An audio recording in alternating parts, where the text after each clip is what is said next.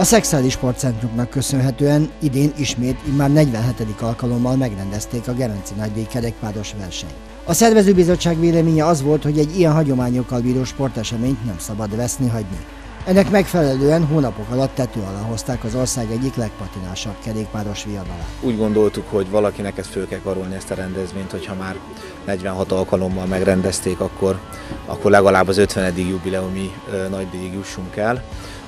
Picibe gondolkoztunk idén, hiszen a Covid után hirtelen kellett gyorsan megrendezni a Gemenc nagy díjat. Bár a késői szervezés eredményeként a vártnál kevesebb résztvevő állt rajthoz, és elsősorban a külföldi csapatok kötötték már le magukat erre a hétvégére, a magyar élményzőny itt volt Szexárdon. Stej Gábor versenyigazgató azt mondta, a lehetőségekhez képest ez egy magas színvonalú Gemenc nagy díj volt. Valamikor július utolsó hetében a Szőke Gergő sportigazgató, a sportközpont igazgató keresett meg azzal, hogy akkor ö, esetleg érdemes lenne, van-e még esély a Gemenc kupára. Elmondtam akkor is neki, hogy a versenynaptár már eléggé szűkös, tehát kell keresnünk valahol az ősszel egy, egy, egy dátumot.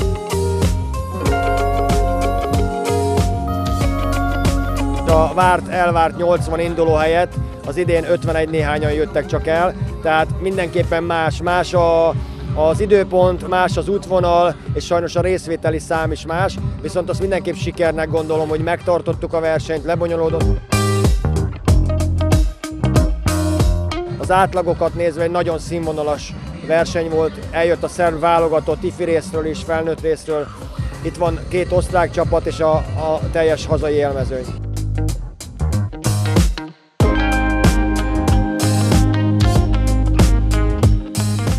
De a jövő esztendőben, ha idejében megkezdik a szervezést, visszahozható a 120-130 kerekessel zajló Gemenc nagydíj, ahol az európai élmezőny is rajthoz áll, és amelynek a reklámértéke is jelentősen nagyobb, így könnyebb lesz támogatókat is találni. A kétnapos 47. Gemenc nagydíj győztese az osztrák pályák Luka lett, a legjobb magyar Szatmári András a harmadik helyen zárta a versenyt.